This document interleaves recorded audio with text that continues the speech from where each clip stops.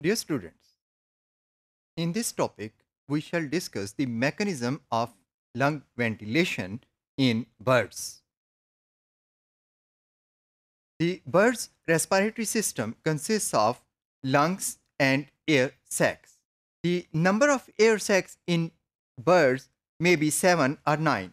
These air sacs include two posterior or abdominal air sacs, two anterior thoracic or cranial air sacs, two posterior thoracic or caudal air sacs, and two cervical air sacs which may not be present in some birds.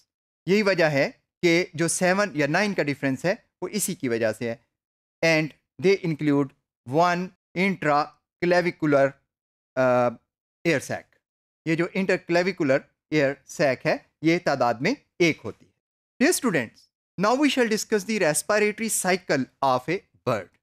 In birds, it takes two ventilation cycles to move air through the entire respiratory system. In this way, the inhaled air remains in the respiratory system for two complete inspiratory and expiratory cycles before it is fully used and then exhaled. इसमें दो inspiration और दो expiration involve होती हैं। हम पहले first inspiration को discuss करेंगे। During the first inspiration the inhaled air enters through the nostrils and passing through the larynx it enters the trachea from the trachea air does not directly enter to the lungs air rather travels to the posterior abdominal air sacs. Simultaneously, a small amount of air passes through the posterior air sac to the lungs through the ventrobronchi and dorsobronchi.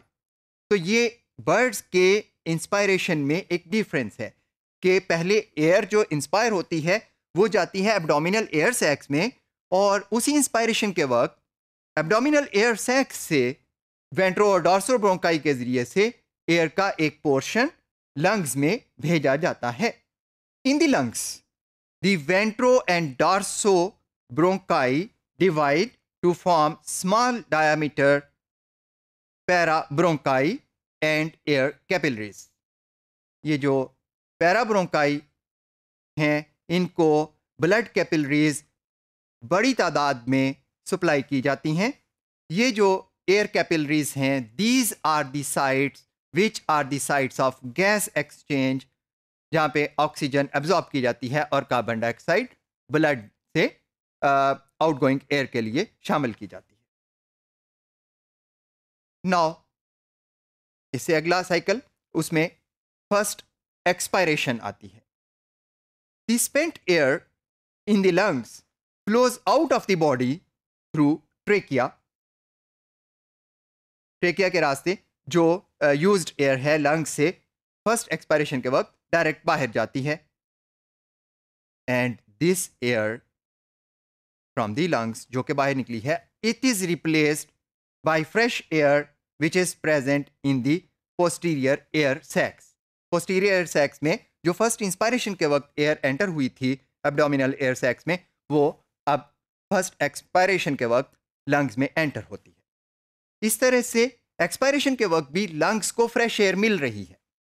ये students इसके बाद जब second inspiration होती है तो fresh fresh air again enters the posterior sacs lungs also receive fresh air from the abdominal sacs, replacing the used air. But जो displaced air है lungs से that does not go directly out from the trachea because it can not exit through the trachea क्योंकि fresh air is flowing inward इसकी बजाय ये जो spent air है it moves from the lungs and enters the anterior thoracic air sacs now second expiration होती है। तो air moves out of the cranial or anterior thoracic sacs, ये move out करती है और बाहर निकल जाती है और इसके साथ लंग्स में जो एयर मौजूद होती है, वो भी बाहर निकलती है। This flows out through the trachea fresh air which is present in the posterior abdominal sacs again enters the lungs for gas exchange इस तरह से सेकेंड एक्सपायरेशन के वक्त भी फ्रेश एयर लंग्स को सप्लाई की जाती है।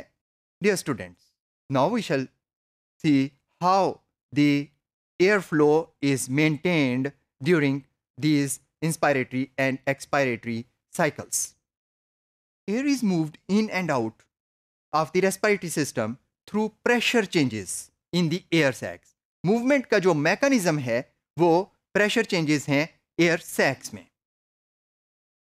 बर्ड्स के पास कोई डायफ्राम नहीं होता कि वो मूवमेंट देता रहे कि लंग्स में किसी तरह से नेगेटिव पंपिंग प्रेशर क्रिएट किया जा सके। ऐसा नहीं है। तो एयर सैक्स के ऊपर जो प्रेशर चेंजेस हैं, उनकी वजह से रेस्पिरेटरी सिस्टम में एयर की इन एंड आउट मूवमेंट होती है। थोरेसिक मसल्स, इसमें रोल प्ले करते हैं, which cause the sternum to be pushed outward.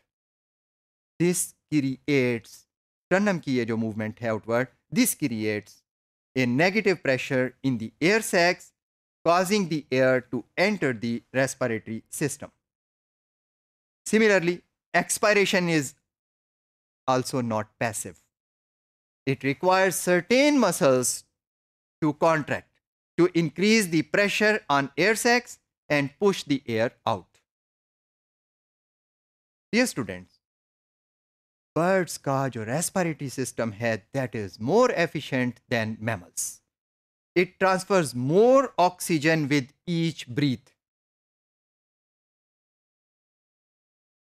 Unidirectional airflow of fresh air ensures that air or fresh air passes over the respiratory epithelium during both inhalation as well as exhalation.